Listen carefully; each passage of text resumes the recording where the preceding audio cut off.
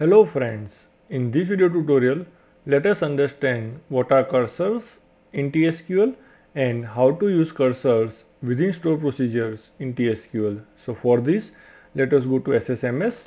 Now first of all let us understand what are cursors. So cursors are special type of variables which can hold multiple records in memory at runtime and we can access one row at a time from the cursor variable okay during the execution of the cursor. Now let us understand the life cycle of the cursor. So first of all we need to declare a variable of type cursor with the help of a select statement. Then we need to open the cursor. Then we can fetch records one at a time from the cursor. Then we need to close the cursor. And then last step is we need to deallocate the cursor.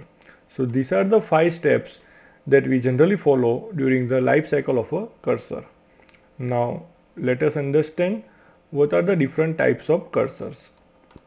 So cursors can either be static or dynamic. A static cursor is a cursor which does not see the runtime updations of data okay and dynamic cursors are the cursors that see the updations of data happening at runtime okay for the records that it has retrieved. Now the cursors can be of type local or global Local cursors can be accessed only within the specific batch in which they are created and global cursors can be accessed within the session in which they are created. And the, the next type is scroll or forward only. The scrollable cursors are cursors in which you can fetch records in any direction whereas in forward only cursors you can fetch records only in the forward direction. And the last type is key set cursors. Keyset cursors are cursors in which you can have faster retrieval of data that is faster fetch operations with the help of indexes. Now having discussed the types of cursors let us see the practical example of it. So in this case we will declare a cursor variable that is the name is CRS of type cursor which is scrollable, static and global in nature for select star from sys.table. So let us see what, what is the data inside uh, our sys.tables that is in db underscore test. There are this many tables and all these tables are listed over here. So there are nine tables. First table is students, followed by table 1 and table 2 and the, the second last table is product and last table is tbl underscore products. Okay. So now for this data set, let us create a cursor. So let us execute this. So now CRS cursor has been created. Let us open the CRS cursor. Let us let us select the rate fetch status. Now the rate fetch status is a system defined variable. And what does it store? It stores 0 if there are more rows inside the cursor variable which can be fetched. Okay. And it stores 1 if there are no more rows inside the cursor variable which can be fetched. Okay. Now similarly let us select at the rate at the rate cursor underscore rows. So it shows us that there are 9 tables and so it shows that there are 9 records which can be fetched from this cursor that we have just defined. Now now let us fetch different records from this cursor as this particular cursor is a scrollable cursor we will be able to fetch records in any particular direction okay so let us first of all fetch the first record so let us so let us say fetch first from CRS so it has fetched the first record which is students okay? Then fetch last from CRS which was TBL underscore products right?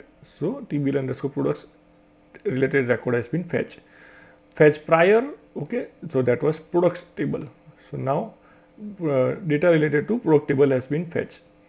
Fetch next from CRS which again means the last record which means TBL underscore products right?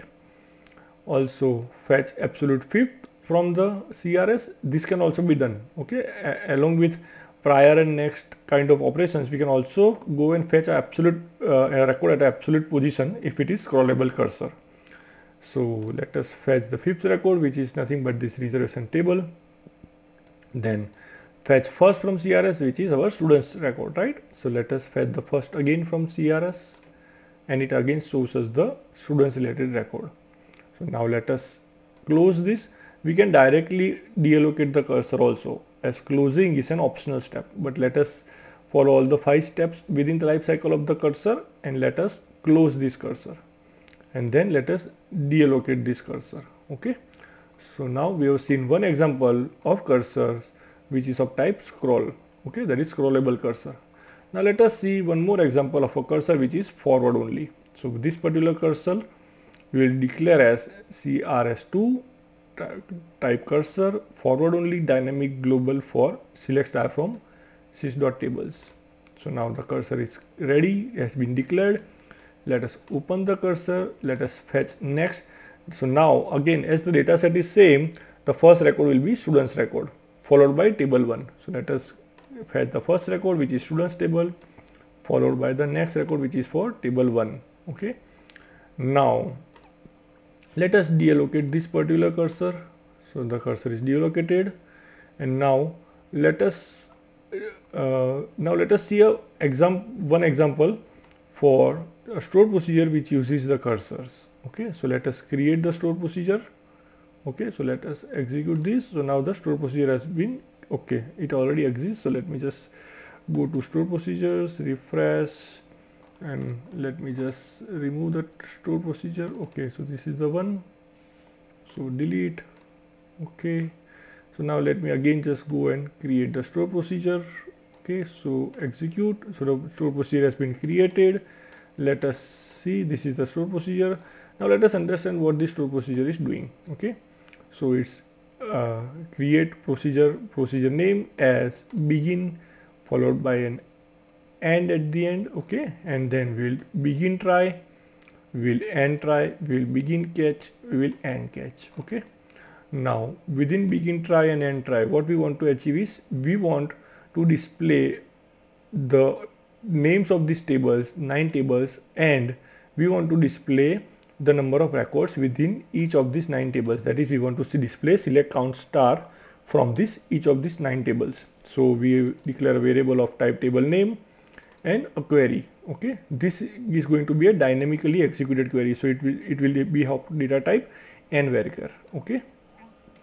So now once we have declared this way this uh, both variables let us declare a variable of type cursor globe dynamic global forward only for select name from sys.tables so this particular cursor will have all this the names of all the tables which belong to this particular database current database okay? That is it will have names of these nine rec nine tables okay? Now we'll open the cursor variable we will fetch one table name at a time okay? And we'll continue till the fetch status is zero that is till the time we are able to fetch next record from this cursor variable.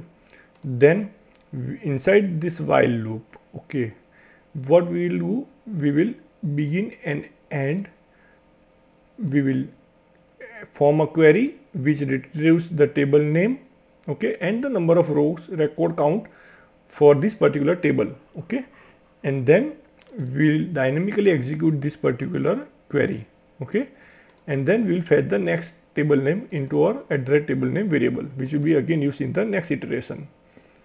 And then we'll at the end deallocate after this uh, work is done in the while loop we will deallocate the cursor and then we will write uh, the error handling code in the catch part. So we'll if there is at all there is an error then we will print the, that there is an error during the cursor iterations and we will throw back the error so that the exit error message gets printed on the message window okay so now once this particular store procedure has been created now let us just execute this store procedure so now uh, note that uh, this particular store procedure makes use of the concept of cursors right? It is actually uh, declaring a cursor opening a cursor fetching a cursor in in a loop then deallocating the cursor okay?